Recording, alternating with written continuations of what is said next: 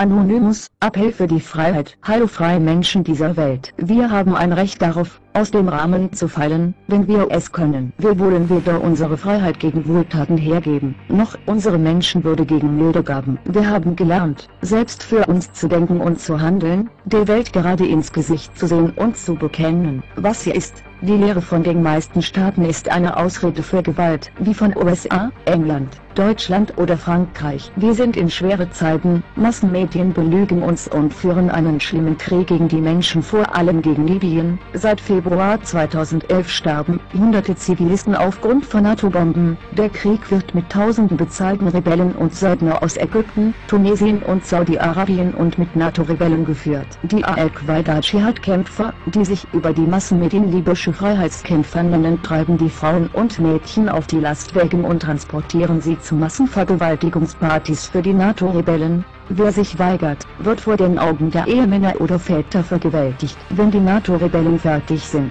schlitzen sie den Frauen den Hals auf. Die Libyen-Kriegslüge ist das hässlichste Weltereignis zurzeit, aber auch in Deutschland tut sich was. In Berlin, auf dem Alexanderplatz haben sie das erste echte Demokratie jetzt Camp errichtet Akambada. Sie zeigen Solidarität mit Griechenland und Spanien. Dort mischt sich aber auch ein westlicher demokratischer Staat ein, und die Berliner Behörden behindern ein friedliches großes Protestcamp und versuchen das Beste die Demonstration aufzulösen. In Spanien, Griechenland oder USA ist die Revolution immer noch im Gang. Es werden noch viele westliche Länder folgen. Wie wir in Deutschland sehen, die Menschen fangen an zu begreifen, dass die wahren Diktatoren in ihrem Heimatland das Land regieren. Die Unterdrückung von Palästina durch Israel nimmt seit mehreren Jahrzehnten auch kein Ende und ist leider immer noch bitterer Alltag. Auf den Anti-G8 und Anti-G20 Demonstrationen herrscht auch noch brutale Polizeigewalt, und das in angeblich demokratischen Ländern. Aber nicht nur in Palästina herrscht Unterdrückung, und nicht nur auf Anti-G8 und Anti-B20-Treffen gibt es brutale Polizeigewalt.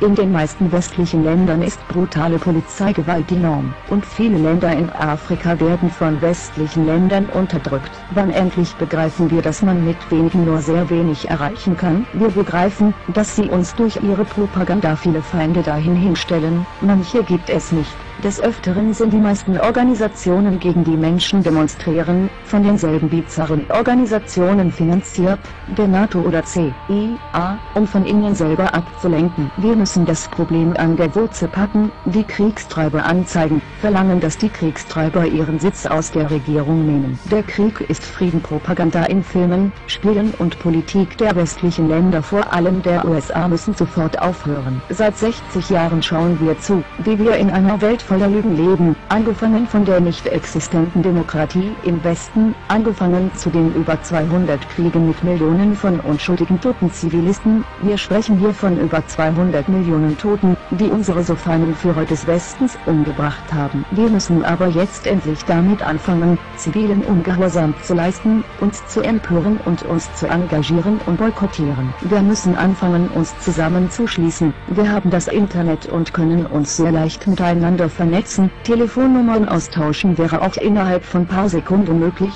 falls mal das Internet richtig zensiert wird. Wir sind alles nur Menschen auf dem ganzen Planeten, und im Grunde genommen haben wir all denselben Feind, die Kriegstreiber. Wenn wir die erstmal los sind, haben wir ein freies Palästina, keine Kriege mehr gegen arabischen Länder aufgrund von Rohstoffen, keine unnötigen Toten mehr mit Waffen, die G8 und B20 wäre aufgelöst, weil dort viele Kriegstreiber sind die Ausbeutung zum Wohl unserer kleinen Luxusgüter in der dritten Welt wäre oft zu Ende und die dritte Welt würden endlich zu uns gehören. Eine echte Demokratie könnten wir in vielen Ländern aufbauen. Als Vorbild könnten wir Island nehmen, die sogar ihre Verfassung über Facebook umändert. Das ist echte Demokratie, wenn das Volk an den Gesetzen und Politik mitbestimmt. Mit Internet wäre eine liquide Demokratie eine direkte Demokratie möglich. Also lasst uns alle zusammentun und gegen die Kriegstreiber kämpfen. Unterstützt alle das Protestcamp auf dem Alexanderplatz. Unterstützt alle die Proteste NATO-Massaker in Libyen zu binden. Unterstützt alle Proteste der Anti-G8 und Anti-G20.